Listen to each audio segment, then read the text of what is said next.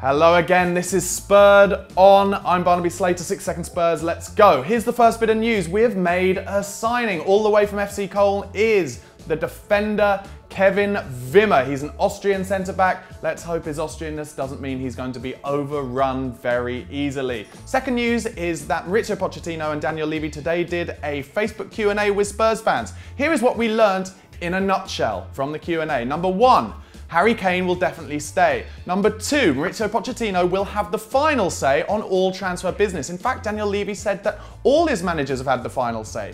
Do you think that's true? I'm not so sure. Let us know in the comment section. Number three, Alex Pritchard on loan at Brentford last season will be in the first team squad next season. He's in Poch's plans. Number four, they were asked what fruit they uh, would be or they think they are. So this is what they said. Levy thinks he's a watermelon because he's got thick skin and needs it in this job, and Poch says he's a coconut because he's hard on the outside and sweet on the inside. What a bizarre question for one of you have asked, to have asked him. Number five, the club will buy to ensure balance this summer. Not just young players, not just big signings, but balancing the squad is the most important thing. And number six, we may have to leave it late in the window to make our signings again because Levy says there are always three parties involved in any signing. That, of course, is the player, Levy himself, and the club the player belongs to, but of course, the most important one being good old money hands Daniel Levy. Let us know what you think about all of that news in the comment section below. Subscribe to the channel and follow us on Twitter at SpurredOnTV.